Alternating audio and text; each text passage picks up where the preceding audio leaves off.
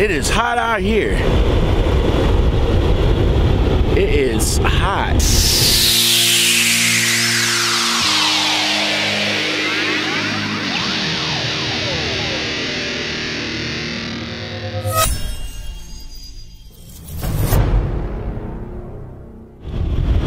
Well, what's up? What's going on? All right, I am here at Jay Bros uh, truck stop, a truck parking lot, because they're not open 24 hours. You know, I went in there last night. Uh, it, it's a small mom and pop uh, truck stop. And this is what I was telling you guys in my previous videos about how I feel about mom and pop truck stops. Because here, as you can see in the background, there's plenty, plenty of parking. I'm talking plenty. All of a sudden I seen it says Jay Bros truck stop. And I looked on my Rand McNally and I was like, whoa, it's, it's not even on there. So I came off, turned up into the parking lot and I was like, hey, now this is what I'm talking about. Mom and pop truck stops. I'm telling you guys, I'm telling you guys, you will find more parking and less stress at a mom and pop truck stop than you would at any other majors, you know? And you guys know what I mean. Loves, Flying J's, you know, the, all, all of the majors, you know? Now, this one is like an Indian, they got a restaurant, but I think it's Indian food. I'm not a fan of Indian food. Not, not a fan, not a fan. But I do like it. It's, it's, it's, it's a, you know, it's a small truck stop. It's a family, it's a family truck stop. You know, little restaurant, fuel, you know, little convenience store. But as you guys can see, I am right here sitting down on my laptop. On my laptop. Um, I'm taking my 34 right now. I figured that what I'm gonna I'm gonna do for this particular trip that I'm on right now, heading to Ohio, and to make it feasible for when I get up there. Now, right now I'm on recaps right now, and I just realized that since I was on recaps today or last night, the hours that dropped off last night didn't give me no hours today to drive. What, about six hours yesterday, uh, which was very good, which was very good because it was like nine, it's, it was about, I don't know, 20 hours, about 19, 20 hours to get, you know, from here to Ohio. So I, I burnt out, I burnt six, six of that, which now I got like 14 hours or 14, 45 hours. Uh, 15 hours uh, that I got total to get from here to Ohio. All right, I'm doing good time. Right now I'm on I-80. It's just pretty much a straight shot. Um, so what I did last night was pre-tripped from here to Ohio so that I can uh, so that I can get an understanding on how far and how much time I got left to get here. I mean, to get there from here to Ohio. I got two hours and some change to drive today, but I figured that would be a waste because when I'm getting back tonight is about seven hours. All right, so that'll only give me seven hours to drive tomorrow. Now, the, now the load is not due until Monday at 11 o'clock. So either way, uh, either way, if I would have just did the rest of my recaps, it wouldn't have gave me no time when I dropped the load in Akron.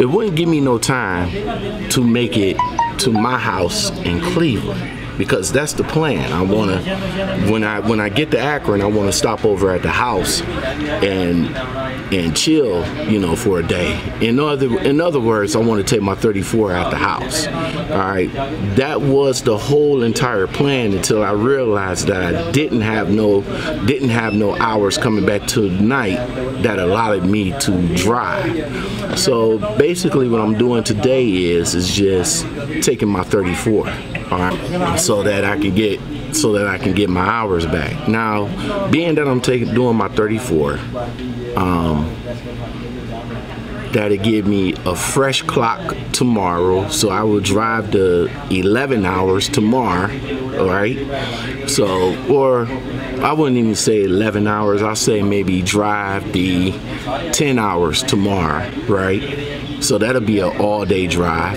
And then Monday, I will have maybe about three, I want to round it up. I'll have about four hours to get it to the shipper. So if I get up, normally I get up about six o'clock, or no, I get up at five and start driving at six. But if I up the time an hour early, say if I get up at four and start driving at five, I will have it at the shipper before 11. Now my appointment is at 11, but they might get me in early and they might not get me in early. But that's the plan. See, once I get to the shipper and drop it, then I'm heading to the house. I know that was a bit, I know that was a bit much, you know. Of course, that's where editing comes in at, so I will definitely chop it down a little bit. What I'm gonna do uh, when I get home is of course, take care of my home stuff, get me a haircut, hang out with my son a little bit, and then get back into the truck. I do all that good stuff. I'll be right back on the road with a fresh 70 and um, and get back at it. What I was, you know, it, this is a this this is something that I've been thinking about for a long time.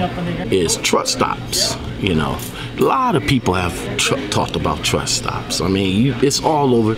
All all of us YouTube drivers. If you're new to YouTube, or if you're just now coming in, then all you got to do is type in the search bar truck stops, and everybody has an opinion on it. My two cents on the uh, on the situation. And my two cents is this, all right? Majors all right, and when I'm speaking of majors, I'm talking, I'm talking Loves, Flying J's, Petros, Pilot, and TAs. Those, those are the majors. I think it's five. One, two, three, four, five. Yeah, five majors. All right. And when I'm speaking of the majors, that pretty much lets you know what I'm talking about. Um, when I'm speaking of mom and pops, then those are the are the small are the are the small family owned type deals. You know what I'm saying? Those the ones that's those the ones that may may or may not be on the Rand McNally when you when you looking up truck stops the when you trip planning.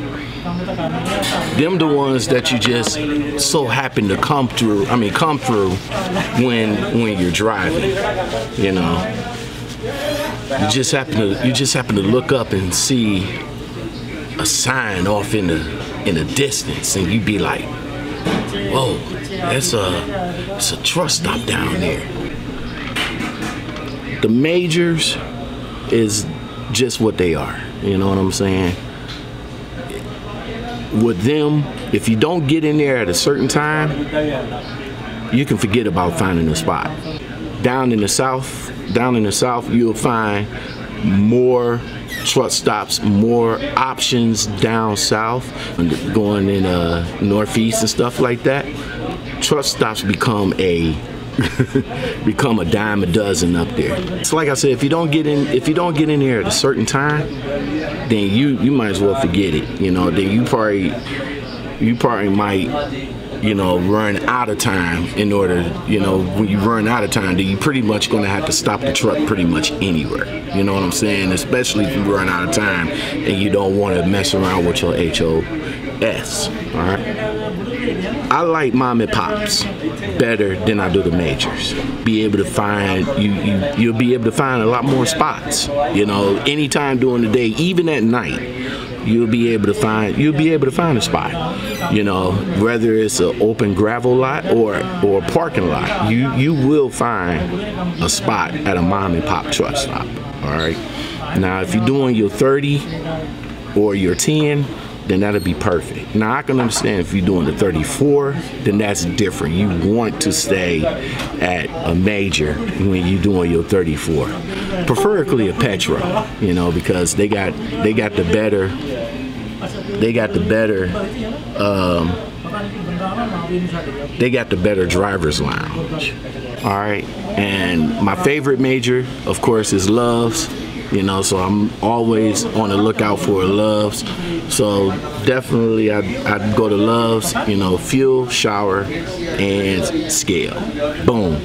Done with that. Before i get off um, still representing the Cavs you know what i'm saying they came back last night you know but i'm still on the fence whether or not they're going to pull a miracle off. You know what I'm saying? you know, they did it last year, and I don't know if they're going to be able to do it again this year. But they did break records last night, you know, but they still three down. You know what I'm saying?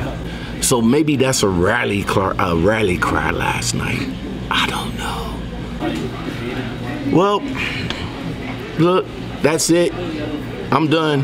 Lockoutmen out.